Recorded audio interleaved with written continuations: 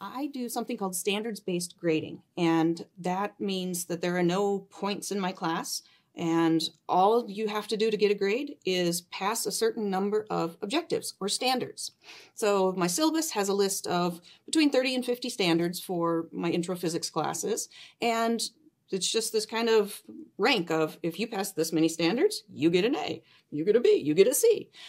It's takes it takes students a little bit to learn how the system works because they're very used to the point system and they're very used to uh, gaming the system with points.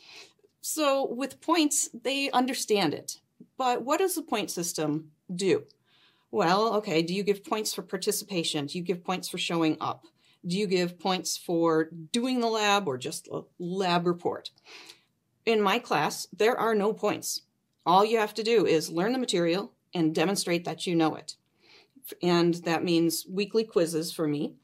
And if you don't pass the first time on a quiz, well, that's okay. I want you to learn the material, not just pass a quiz. I want you to learn the material. So don't pass the first time. You have a week to try again. And then if you think about it, you know, that's okay. I can do quizzes like that, sure. But then you think, lab reports? I have all these other things I want to do too in my class. Well, with my standards based grading, I actually have four standards, four objectives, four labs, and I also have two objectives for uh, discussion post, uh, science communication type of an assignment. It's scary at first because as teachers, we also came up in the point system usually, and we know how point systems work. But it's so freeing.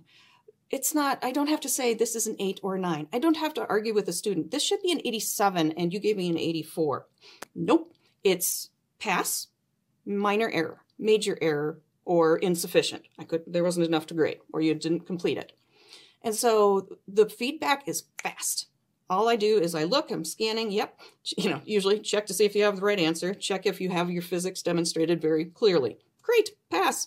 Or just circle where the minor error is. And so I'm not saying, eh, is this an 8? Is this a 9? Is this a 40? Is this a 42? All I'm saying is, you got it or enough feedback for them to say, I need to do just a little more studying or I need to do a lot more studying. So standards-based grading is it's very freeing in many ways and it allows me through my assessment to focus on really what I want them to learn. It's these objectives, these standards. You're not going to get any points for sitting in class or for for chatting in class, for answering questions, for asking questions. And it focuses me and the students on really the content that I want them to know. So I have done standards-based grading for, oh, I think 12 years now, and I love it. And I I'm still changing it every semester. Um, I'm still adapting it. It is a constantly improving process, but the students really end up liking it. The student comments at the end of the semester say, no, nah, I wasn't sure at first, but no, this was good. I loved being able to retake it because if I didn't get it at the first time, I could study more. And it helped me focus on the learning, not a grade, not a point number.